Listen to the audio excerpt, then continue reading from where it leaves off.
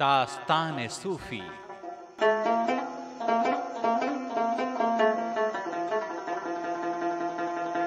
हज़रत निज़ामुद्दीन औलिया।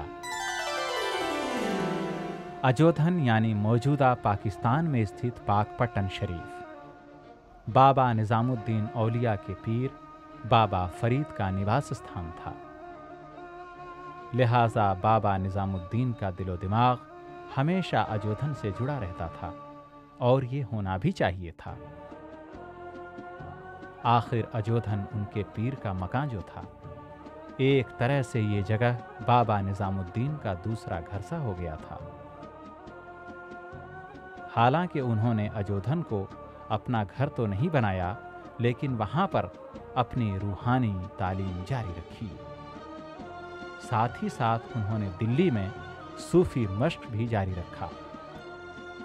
वो हर साल रमज़ान के महीने में बाबा फरीद के साथ अजोधन में अपना वक्त बिताते थे। आपके अजोधन के तीसरे दौर में बाबा फरीद ने आपको अपना उत्तराधिकारी यानी खलीफा मुकर्र किया।